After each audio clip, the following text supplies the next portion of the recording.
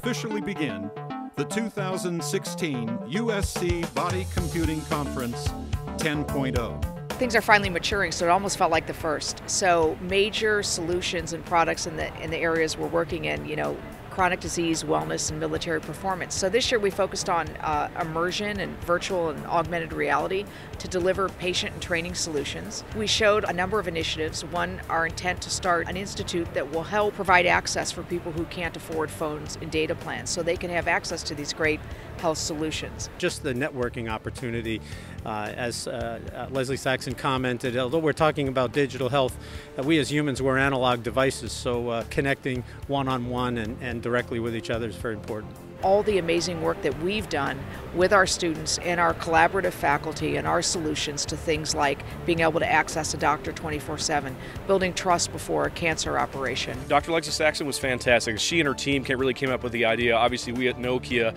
uh, digital media in any way, don't really know much about healthcare. I'm no doctor myself, but they came to us with a proposal and the idea, and they really thought this could be not only groundbreaking, but very helpful to the patients, very helpful for other doctors, and really sort of lead the way and show what VR can be in healthcare. We're going to see a VR video, first of its kind in the healthcare field, uh, a surgery and a doctor describing a surgery effectively for patients to see prior to their actual entry into the hospital to hopefully alleviate the tension on the patients so that they then actually show up uh, to their actual surgeries and go through it. Folks actually are more relaxed and therefore maybe recover better. We want to be able to create an innovation center for elite athletic and military training at SC to get serial measures on athletes and warfighters to solve some very difficult problems. With uh, all the technology that's coming down from uh, you know various sporting events, it gives us an opportunity to collaborate with experts in the in the field and to you know uh, troubleshoot some of these ideas and, and brainstorm uh, what the future holds. This conference is wonderful in the sense that it challenges each of us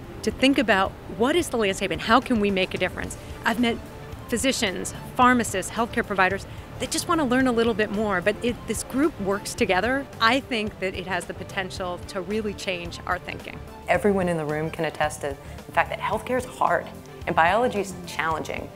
Um, and if we want to do things at an accelerated time frame, then it's really helpful to figure out partnerships that are strategic to get us to have tools for patients and providers as soon as possible. Actually, I was at South by Southwest. I saw Dr. Saxon speaking, and the mission of the shop is to evolve the design and technology towards discoveries that enhance lives. A lot of that lines up with the center itself. The future of digital health is being written in partnerships like VSP and the Center for Body Computing working together. This is probably one of the best conferences I've been to by far in digital health, and I've been to a lot of them.